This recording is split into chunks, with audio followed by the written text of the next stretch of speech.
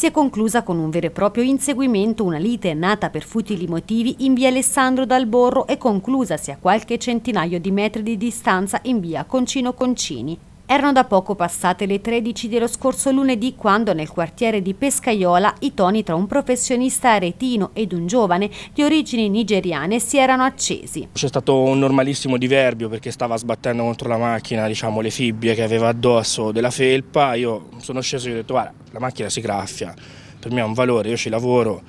E ha iniziato a dar via di matto, insomma, a dar via di testa, a dire parolacce dalle parole si è così ben presto passati ai fatti. Il giovane straniero avrebbe prima minacciato l'uomo e poi avrebbe lanciato contro dei sassi.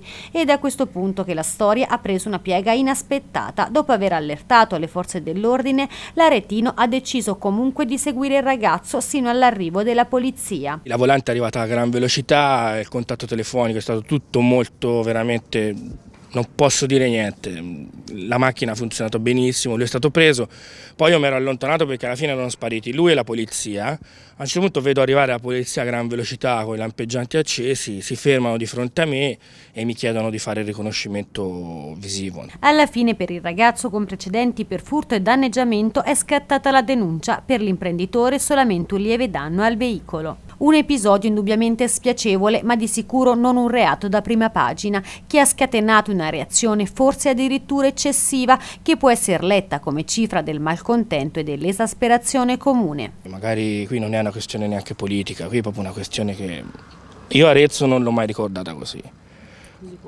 Così in basso, così degradata, così poco, ma magari anche questi ragazzi, cioè sicuramente si sentono emarginati, hanno dei problemi, noi questo magari possiamo anche capirlo, ma non è così che si affronta il problema. Ci vorrebbe qualcuno che insomma gli indicasse un pochino le, co, co, come ci si comporta nel mondo, tra virgolette, civile.